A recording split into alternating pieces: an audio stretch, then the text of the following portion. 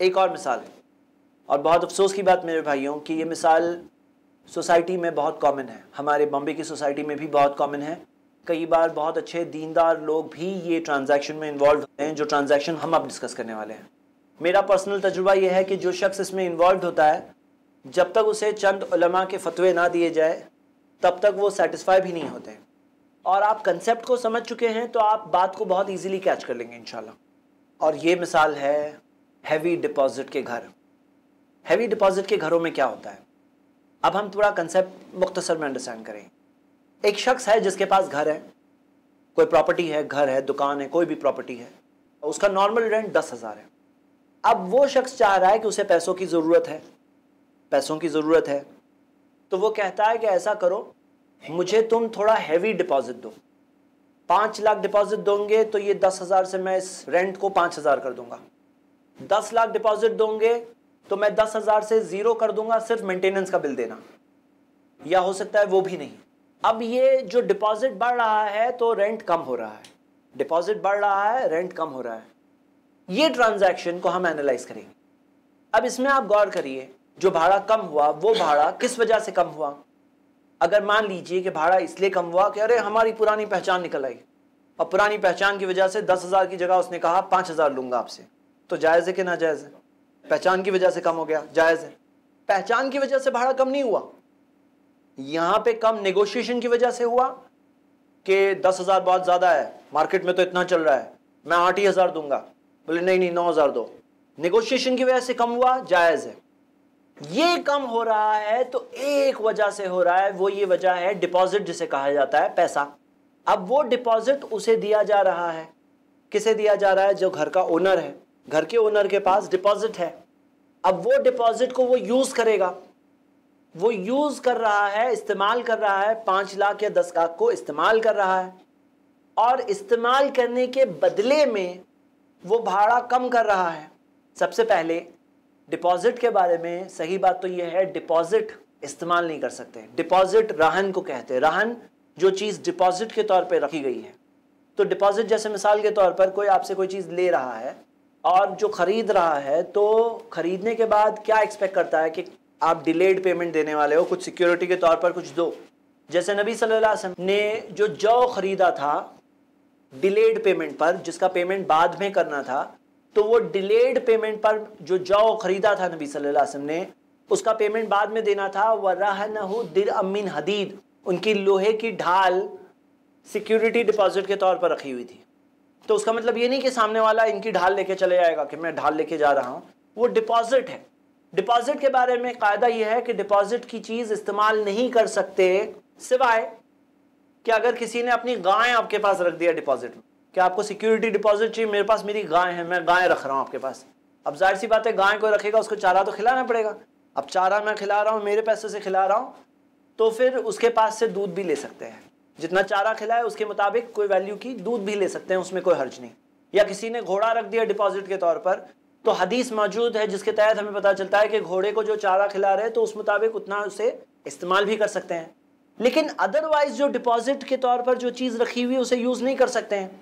लेकिन अगर यूज़ करना है तो कर सकते हैं। अगर सामने वाले ने कहा, ठीक है, मैं कह रहा हूँ यूज़ करो, कोई प्रॉब्लम नहीं है। नॉर्मली जब लोग डिपॉजिट के तौर पर जो रखते हैं अंडरस्टूड बात होती है कि पाँच लाख ये ऐसे ही रखने नहीं वाला है। ये पाँच लाख, दस लाख को इस्तेमाल करने वाला है। जब वो इस्तेमाल करता है तो शरई हिसाब से वो डिपॉजिट नहीं रहा, वो कर्ज हो गया। लोन कि कर्ज जो है, वो आपने मुझे कर्ज दिया तो मैं यूज़ कर सकता हूँ। मिसाल के तौर पर, किसी की अमानत आपके पास घर पे है, जैसे मिसाल के तौर पे किसी ने कहा, मेरी जरा लैपटॉप संभालो भाई। ये लैपटॉप आपके पास रखो। तो जो अमानत होती है, उसे यूज़ नहीं कर सकते। और अगर कोई चीज़ हम यूज़ कर रहे हैं तो वो चीज़ कर्ज के तौर पर मिली है। अब वो पाँच लाख या दस लाख की हकीकत पता चली, वो पाँच लाख, दस लाख डिपॉजिट नहीं है डिपॉजिट नाम है, लेकिन वो इन रियलिटी कर्ज है। ठीक है? अब इतना नाम का डेफिनेशन हल हुआ, इतना पता चला वो कर्ज है। कर्ज के बदले में, अगर कोई कहता है कि मुझे पाँच लाख तुम दे रहे हो, मैं तुम्हें हर महीने का एक हज़ार दूँगा। हर महीने का दो हज़ार दूँगा। हर महीने का पाँच हज़ार दूँगा। तो ये सूद है कि नहीं है? क्लियर कट सूद है। तो ये कह रहे हैं भाई, पाँच लाख के बदले में पाँच हज़ार दोगे, दस लाख के बदले में दस हज़ार दोगे हर महीने। सूद, हराम हराम। सूद तो हराम है। सूद है, हराम है। आप हराम काम नहीं करोगे। ऐसा करो, आपको जो भाड़ा है ना, जो भाड़ा आपको देना है, वो भाड़ा कम कर दो। ऐसे पैसे बोल के तो आप नहीं, ले नहीं रहे हो सूद के नाम से। आपको मुझे दस हज़ार भाड़ा देना है हर महीने। दस हज़ार में से पाँच हज़ार माइनस कर लो। पाँच हज़ार माइनस कर लो, दस हज़ार माइनस कर लो। अब तो हलाल हो गया कि नहीं हो गया? तो निम से हाँ हलाल। वही चीज़ को अगर भाड़ा भी दे रहे हैं और सूद भी दे रहे यहाँ से भाड़ा आ रहा है, वहाँ से सूद जा रहा है तो सूद हराम है। लेकिन वही चीज़ को थोड़ा नाम बदल दो ताकि आदमी निकल जाए। हराम चीज़ को थोड़ा हलाल का कवर चढ़ा दो। रीपैकेज करके दो उसको। तो रीपैकेज करके देंगे तो वो निकल जाएगा उसे। तो यहाँ क्या हो रहा था कि अगर पाँच लाख का कर्ज दिया इन्होंने, मिस्टर बी ने, मिस्टर ए को, पाँच लाख का कर्ज दिया। मिस्टर बी ने ए को पाँच लाख का कर्ज दिया, ये हर महीने का पाँच हज़ार का रेंट दे रहे हैं। पाँच लाख के कर्ज पर पाँच हज़ार का सूद दे रहे हैं हाँ इंटरेस्ट दे रहे हैं। कर्ज इन्होंने दिए, इसके बदले में सूद आ रहा है। और ये जो जगह यूज़ कर रहे हैं इसके बदले में भाड़ा दे रहे हैं। तो दोनों ने एडजस्ट कर लिए कि तुम मुझे भाड़ा नहीं देना मैं तुम्हें सूद नहीं दूँगा। यही तो कंसेप्ट है हैवी डिपॉजिट का। तो हैवी डिपॉजिट के अंदर जो भाड़ा जितना कम हो रहा है चाहे दस हज़ार से आठ हज़ार हुआ पाँच हज़ार हुआ तीन हज़ार हुआ दो हज़ार हुआ एक हज़ार हुआ मेंटेनेंस हुआ। रमेश भाई है एक और दूसरे विजय भाई। रमेश भाई के पास घर है। हा? और विजय भाई के पास पैसे हैं। विजय भाई पैसे देते हैं, पाँच लाख रुपए रमेश भाई को देते हैं। विजय भाई ने पाँच लाख रुपए रमेश भाई को दिए। रमेश भाई ने अपना घर बिना रेंट के दे दिए हम्म या रिड्यूस रेंट पे दिए। दस हज़ार की जगह पाँच हज़ार रेंट लिए। वही अगर दस लाख देते तो ये ज़ीरो कर देते। अब यहाँ पर आप देखिए इन रियलिटी ये ट्रांजैक्शन क्या है? हकीकत में ये है कि वो पैसों के बदले में सूद ये दे रहे थे और जगह के बदले में रेंट ये दे रहे थे तो रेंट में से उतना अमाउंट माइनस होता गया सूद का अमाउंट तो मिसाल के तौर पर कोई शख्स है जिसने अपना घर हैवी डिपॉजिट पे दिया हुआ है और इस वजह से भाड़ा कम किया है। तो मुझे बताइए ये सूद देने वाला आदमी है लेने वाला आदमी है? लेने वाला। जिसके पास घर है। हाँ? और घर का रेंट कम किया उसने। तो ये सूद? घर का रेंट दस हज़ार आता था, दस हज़ार की जगह पाँच हज़ार आने लगा। वो पाँच हज़ार क्या है? गए। कहा गए? सूद है वो। ये शख्स सूद देने वाला है। और जिसने डिपॉजिट दिया, जिसने डिपॉजिट दिया, ये कौन आदमी है? ये सूद खाने वाला आदमी है। जैसे हम देखते हैं, नबी वसल्लम ने लानत की आकिल रिबा व मुकिलहू व कातिबहू व शाहिदैनी। नबी वसल्लम ने लानत की, सूद देने वाले पर, सूद लेने वाले पर, उसके एंट्री करने वाले पर, एंट्री करने वाले पर हाँ? जैसे मिसाल के तौर पर एक आदमी है, बोले कि हमारा हैवी डिपॉजिट का डॉक्यूमेंट बना दो भाई हाँ? बोले हाँ बोलो, क्या डिटेल्स है? हाँ? वकाती बहू देखो, इल्म ना होना कितनी खतरनाक बात है। कि उसे काश पता होता कि वो कितने बड़ी लानत वाली चीज़ के अंदर मुब्तला हो रहा है। वह क्या थी बहू? और दोनों गवाह विटनेस आपके पास आए, देखो हमारे हैवी डिपॉजिट का डॉक्यूमेंट बन रहा है। आप विटनेस बनेंगे? हाँ हाँ चलो मैं साइन कर देता हूँ साइन करने मिल रहा है कहीं। हाँ? तो जो साइन करने वाले दोनों शाहिदैनी दोनों गवाह। वो क्या है? होम सवान सब बराबर है नबी ने कहा। सब पर नबी ने लानत की। अच्छा अभी इसके अंदर अगर आपको फतवा देखना है तो यकीनन फतवे हैं मौजूद। जो हम देखते हैं कि सऊदी की सीनियर कमेटी ऑफ़ उलमा के फतवे मौजूद है और शेख फजलरहमान की रिबा के ऊपर, सूद के मौजू पर किताब है। वो बुक के अंदर भी उन्होंने इस फतवे को नकल किया है। और ये चीज़ मौजूद है और बात कंसेप्ट के तौर पर अंडरस्टैंडिंग के लिए भी क्लियर है। तो मेरे ब्रदर्स ये एक और शक्ल है जिसके अंदर सूद क्या नाम लेकर आ रहा है? रिड्यूस्ड रेंट या हैवी डिपॉजिट वगैरह के नाम से सूदी ट्रांजैक्शन आ रहा है। यहाँ पे अगर किसी को कोई सवाल पूछना है, पूछ सकते हैं। जैद भाई ये अंडरस्टूड है और डिफाइंड है कि वो हैवी डिपॉजिट अभी तो ऑलमोस्ट ज़्यादा लोगों में अवेयरनेस आ गई है कि इंटरेस्ट है। अगर किसी को कोई ज़रूरत ही पड़ती है तो तो ना बैंक जा सकता है ना क्या बात कही ना ना ये ना ये हैवी डिपॉजिट ले सकता है। किसी को फॉर एन एग्ज़ाम्पल उसका पचास लाख का घर है उसको पाँच लाख रुपए की इमीडिएट ज़रूरत आ गई तो उसका ऑल्टरनेट क्या है? कितनी अच्छी बात उन्होंने कही। भाई का सवाल बहुत अच्छा है प्रोएक्टिव सवाल है। वो कहते हैं कि अभी दोनों का प्रॉब्लम भी तो सॉल्व करो। किसी के पास घर है, लेकिन उसे पैसों की ज़रूरत पड़ी। और किसी के पास पैसे है, लेकिन वो रेंट का खर्चा इतना ज़्यादा हर महीने हर महीने देना उसको भारी पड़ रहा है। तो दोनों के लिए कुछ सोल्यूशन बताइए। चलिए हम लोग दोनों की बात करेंगे। पहले हम लोग बात करेंगे जिसके पास पैसे है और भाड़े के पैसे हर महीने देना उसे पसंद नहीं है। बोलते एक बार डिपॉजिट रख दिया, मेरा भाड़ा कट हो जाता है। भाड़ा ज़ीरो हो जाता है, भाड़ा कट नहीं हो रहा है। वो सूद है वो। वो भाड़ा उसका सूद है। हाँ? जैसे हमने देखा कि सूद कैसे कोई शख्स खाना खिला रहा है, वो खाना भी हो सकता है सूद होगा। हो सकता है कोई शख्स कोई हदिया दे रहा है, वो हदिया भी हो सकता है सूद होगा। हमने बुखारी की हदीस देखी थी कि अब्दुल्ला इब्न सलाम रद्दुल्लाह ने क्या कहा कि अगर तुम्हारा किसी पर हक है और वो तुम्हें थोड़ा जौ दे दे, थोड़ा भूसा दे दे, थोड़ी छोटी सी कोई चीज़ दे दे, फला ताखुजू फ़ैन रिबा वो भी मत लेना, वो भी सूद है। तो हमने देखा कि सूद ज़रूरी नहीं पैसों में हो, सूद अलग अलग शक्लों में आ सकता है। तो रिड्यूस्ड रेंट की शक्ल में आ रहा है। जो हमने देखा ना, सूद नाम भी बदलता है और भेज भी बदलता है। यहाँ पे भेज बदला है कि वो उसने रिड्यूस रेंट की शक्ल में सूद है। सूद पैसों की शक्ल में लोग पहचानते हैं कि पैसे आए ना, हाय, ये तो सूद है समझ रहे तो सूद है। लेकिन जब रिड्यूस रेंट की शक्ल में आ रहा है तो पहचान नहीं पा रहे हैं।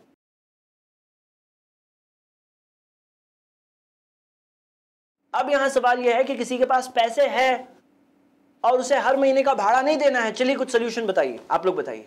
क्या करेंगे? वही डिपॉजिट में उसका जो भाड़ा रहेगा उसको कट करते जाए उसकी भी हेल्प हो जाएगी। उसको घर भी मिल जाएगा। इन्होंने एक बात कही है बहुत अच्छी बात है अगर सोचेंगे तो। इन्होंने कहा कि वो जो डिपॉजिट है तुम्हारे पास पाँच लाख रुपए है वो डिपॉजिट के अंदर उसका भाड़ा कट होता जाए। लेकिन वो कह रहा है कि मेरा डिपॉजिट जो है वो कम हो रहा है। मेरा जो डिपॉजिट है वो क्या हो रहा है? पाँच लाख की जगह फोर लाख नाइन्टी फाइव हो गया, फिर फोर लाख नाइन्टी हो गया। पाँच साल बाद मैं निकलूँगा, पाँच साल का भाड़ा कट हो जाएगा, वो पाँच लाख की मेरी रकम है, वो कट हो जाएगी। कट हो जाएगी ना उसकी रकम। तो इसका क्या सोल्यूशन है? वो कह रहा है, मैं चाह रहा हूँ मेरी रकम कट भी ना हो और भाड़ा भी मेरे ऊपर ना आए। ये क्या करेंगे? आपने जो बताया, ये एक सोल्यूशन है। बल्कि मैं आपको बताऊँ, ये सोल्यूशन को हम और बढ़ा सकते हैं। कैसे? कि मिसाल के तौर पर एक शख्स कह रहा है कि दस हज़ार भाड़ा है तो आप उससे निगोशिएट करिए। बोले, दस हज़ार है, साल भर का मैं एक साथ में दूँ तो कितना लोगे? साल भर का एक साथ में दूँ? तो बोले, साल भर के एक साथ में मैं नहीं करूँगा। बोले, एक काम करो, दो साल का दूँगा, पाँच साल का मैं एक साथ में भाड़ा देता हूँ। पाँच साल का एक साथ में करता हूँ तो कितना करोगे? भाई पाँच साल का एक साथ में दोगे तो सात हज़ार कर दू, आठ हज़ार। नेगोशिएट करिए। अब इसमें दो एडवांटेजेस है। पहला एडवांटेज ये है कि वो भाड़ा जो है वो दस हज़ार की जगह सात आठ कुछ तो पे ला सकते हैं हम लोग। उसको पैसों की ज़रूरत है भाई। उसे पैसों की ज़रूरत है इसीलिए वो बात कर रहा है ना। तो हम उसे ऑफ़र दे रहे हैं कि तुम दस हज़ार की जगह सात लो आठ लो पाँच साल का एडवांस रेंट ले लो। लेकिन इसमें दो एडवांटेजेस है। पहला एडवांटेज क्या है कि दस की जगह सात हो गया। दूसरा एडवांटेज क्या है? नहीं हमारे लिए एडवांटेज क्या है? पाँच साल तक घर मिल जाएगा। पाँच साल तक एक घर मिलेगा एड्रेस बार बार बदलेगा नहीं। और क्या फ़ायदा है? सूद से बच रहा है ये भी तो बेनिफिट है। एक साल का छत्तीस हज़ार सेव हो गया। एक साल का छत्तीस हज़ार सेव हो गया। और क्या बेनिफिट है? उसका डिपॉजिट बच गया। उसका डिपॉजिट बच गया। और क्या बेनिफिट है? एवरी ईयर जो इंक्रीमेंट होता है वेरी गुड अगले साल तो ही दस हज़ार होने वाला है। अगले साल वो भाड़ा हो गया बारह। दस हज़ार का ग्यारह हुआ बारह हुआ पंद्रह हुआ। तो वो इंक्रीज भी तो बच गया पाँच साल के पीरियड में उसका। तो उसको एक फेयरली अच्छा डील मिल रहा है। एडवांस रेंट देने से उसको फेयरली अच्छा डील मिल रहा है और हलाल ऑप्शन मिल रहा है। ये एक ऑप्शन हुआ। सेकेंड ऑप्शन बताइए। जब आप ऑप्शंस बताते हैं तो हम सबको एक मौका ये भी मिलता है कि जो उसूल हमने अब तक स्टडी किए, वो उसूल के एप्लीकेशन में कहीं कोई मिस्टेक तो किसी से नहीं होती है। और मिस्टेक होगी तो हमें उसे डिस्कस करेंगे तो मिस्टेक वाजे हो जाएगी ताकि अगली बार रियल लाइफ में मिस्टेक नहीं करना चाहिए। क्योंकि रियल लाइफ के रिज़ल्ट कब निकलने वाले हैं? कयामत के दिन। और तब मालूम पड़ा अरे ये सब गड़बड़ करके आया हूँ मैं दुनिया में। तो उससे अच्छा है दुनिया में ही मालूम पड़ जाए। यही तो बेटर है ना? जी। वो कर्ज देते फाइव लैक्स को और भाड़ा देते रहे और वो इन्वेस्ट कर रहे बाद में और जो प्रॉफिट मार्जिन शेयर कर ले दोनों फिर उसमें। कर्ज अगर दे रहे हैं और कर्ज के बदले में जो भी नफा आता है उस नफे का नाम सूद है। उसको क्यों इन्वॉल्व करते हो?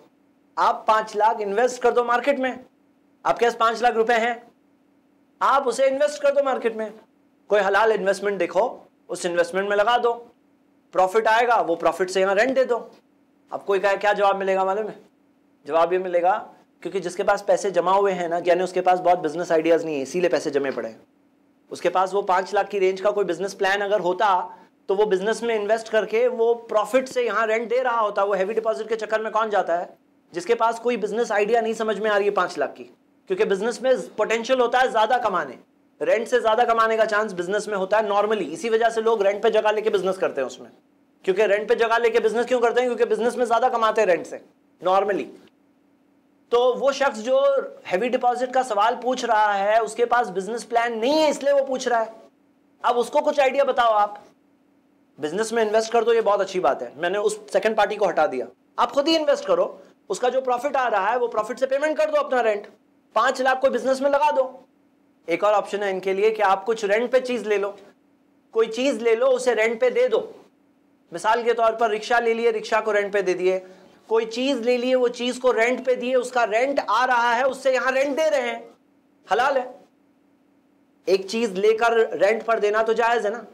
अपनी जगह को एक ले लिए, पाँच लाख की कोई दुकान आ रही छोटी, पाँच लाख का कोई रिक्शा आ रही है पाँच लाख की क्या चीज़ आ रही है? वो पाँच लाख की कोई एक चीज़ लो उसको रेंट पर दो उसका रेंट आएगा उससे ये रेंट दे दो हलाल है। हो सकता है कुछ बीच में मार्जिन बच भी जाएगा इंशाल्लाह। क्योंकि हलाल के चक्कर में आदमी जब जाता है ना तो अल्लाह ताला ने हलाल में बरकत रखी है। हाँ? रिस्क है तो वही तो रिस्क देखिए क्या है ना यही बहुत अहम बात आपने कही। सूद में रिस्क नहीं होता है बिज़नेस में रिस्क होता है। और लोग ये चाहते हैं कि पाँच लाख रुपए मैं सूद पे दे दू ना तो वो सूद पे बिना रिस्क के आएगा बिज़नेस में तो रिस्क होगा, लेकिन वो रिस्क में बरकत है, वो रिस्क में हलाल है, वो रिस्क में आदमी हराम चीज़ से बच रहा है, वो रिस्क ही तो सही चीज़ है। बिना रिस्क के करना गलत है। अल्लाह के रसूल सल्लल्लाहु की हदीसों से उसूल निकलता है फ़िक का अल खराजू बिज जमान नफ़ा benefit profit is with the risk of loss profit होता है तो लॉस का जो रिस्क होता है, वहाँ पे सामने प्रॉफिट आता है। अगर रिस्क ऑफ़ लॉस नहीं है तो प्रॉफिट नहीं होता है वो। कि हमारे ये जो दो भाई हैं, एक के पास पैसे हैं और दूसरे के पास जगह है, इन्हें हलाल ऑल्टरनेटिव हम क्या दे सकते हैं? तो दो ऑल्टरनेटिव्स के बाद तीसरा ऑल्टरनेटिव अब क्या है, बताइए। दो ऑल्टरनेटिव हम देख चुके हैं किसके लिए? जिसके पास पैसे हैं। जिसके पास पैसे है, उसको हमने दो ऑप्शन दिए। एक ऑप्शन कि तुम एडवांस रेंट दे दो। सेकेंड ऑप्शन कि तुम वो पैसों को कहीं पर इन्वेस्ट करो। कोई और ऑप्शन है वो कहीं से कर्जा लेके वो घर डायरेक्ट खरीद ले, जिसके बाद पैसा है वो कहीं और से थोड़ा कर्जा लेके वो घर डायरेक्ट खरीद ले। इन्होंने कहा कि देखो तुम्हारे पास पाँच लाख तो है ना। ऐसा करो कि तुम्हारे पास कोई और अगर कर्जा कहीं से मिल रहा है of course interest free loan होना चाहिए, या तुम्हारे पास कोई और ऑप्शन है तो तुम वो घर को खरीद लो। तो ये भी एक ऑप्शन है। हाँ थर्ड ऑप्शन ये भी है। और एक ऑप्शन देना चाहते हैं और कोई ऑप्शन आप में से कोई भी कोई ऑप्शन देना चाहते हैं।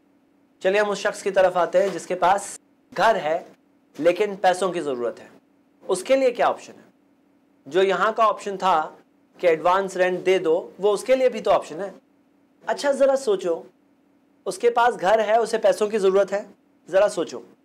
अगर वो हैवी डिपॉजिट पे लेता पैसे तो उसका रेंट गया और उसे चार साल, पाँच साल, दो साल, जब भी वो उसे खाली कराएगा तो डिपॉजिट भी देना पड़ेगा।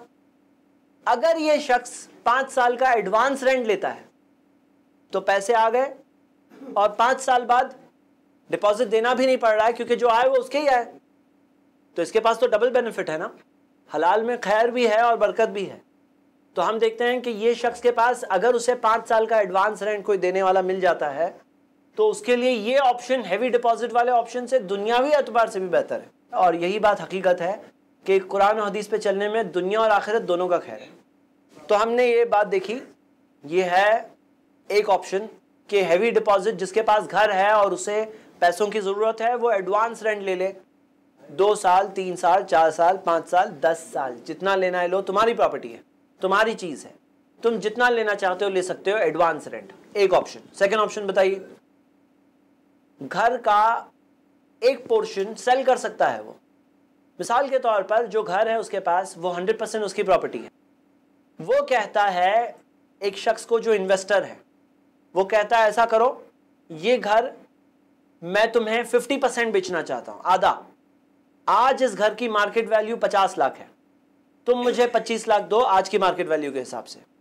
कल जाकर जब इसकी मार्केट वैल्यू हो सकता है साठ लाख हो जाएगी और मैं जब ख़रीदना चाहूँगा तो एक कायदा है शरीयत में जिसका नाम है शुफा का कायदा, कि जिसके अंदर वो जब बेचेगा तो उसे अपने पार्टनर को फ़र्स्ट प्रेफरेंस देना चाहिए।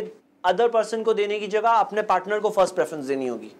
तो ये कायदा है शरीयत में, इस्लामिक शरिया में कायदा है कि अगर मान लो कि एक चीज़ के अगर दो को ओनर्स है तो अगर उनमें से एक को ओनर बेचना चाहता है तो उसे अपने को ओनर को, यानी अपने दूसरे जो शरीक है, जो पार्टनर है, उसे फ़र्स्ट प्रेफरेंस देना चाहिए कि फ़र्स्ट प्रेफरेंस तुम्हें होगी, फिर ही मैं बाहर मार्केट में प्रेफरेंस दूँगा।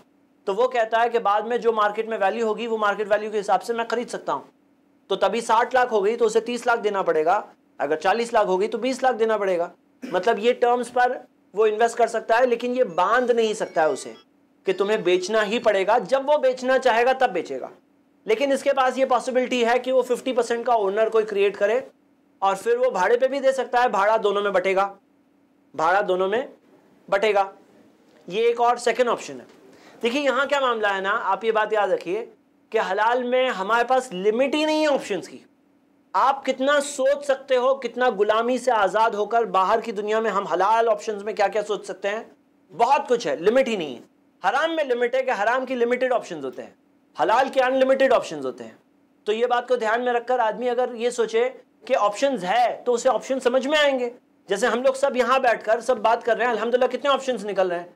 लेकिन क्या होता है कि आदमी जब सिचुएशन में आता है तो हराम की प्रोग्रामिंग ऐसी होती है ना कि उसे प्रोग्राम किया जाता है कि तुम हराम के सिवा कुछ कर ही नहीं सकते। तुम्हारे पास हराम के सिवा कोई ऑप्शन ही नहीं है। और ये क्या है? ये गुलामी है। इसके अंदर जब आदमी जाता है तो वो सोचना बंद कर देता है। वो मायूस हो जाता है। वो आजिज आ जाता है। तो ये चीज़ क्या है? ये हार आ गई ना तो तभी वो बाहर निकल भी नहीं पाएगा। वो बाहर निकलेगा तब जब वो पहचानेगा कि बाहर निकलने का मेरे पास चांस है। अल्लाह ने दिया है चांस। तो हम जो कुरान हदीस से हम उसूल देख रहे हैं, वो तो एक सीख है। लेकिन वो उसूलों को अप्लाई करने के लिए ओपन अप होना कि दुनिया में है अल्हम्दुलिल्लाह हलाल के बहुत अल्टरनेटिव्स है, और आदमी अल्लाह से उम्मीद ना हारे। अल्लाह सुबहान तआला से उम्मीद रखेगा, उसको अल्लाह ताला रास्ता निकालेगा, बताएगा। कुरान की आयत है ना, सूरा 29 आयत नंबर 69 वल्लदीना जाहदू फीना लनाहदियन्नहुम सुबुलना। जो मेरे रास्ते में जद्दोजहद करते हैं, मैं उन्हें अपने रास्ते की हिदायत देता हूँ। तो हिदायत का वादा कब है? जब जद्दोजहद करेंगे तो। अगर आदमी बैठे बैठे बोलता है, कोई रास्ता ही नहीं समझ में आ रहा है, तुमने कुछ किए तुम कुछ करो, जद्दोजहद करो। अल्लाह ने कहा, तुम जद्दोजहद करोगे, मैं तुम्हारे लिए रास्ते निकालूँगा। तुम्हें रास्ते की हिदायत दूँगा। तो ये अहम बात है हम सब के लिए।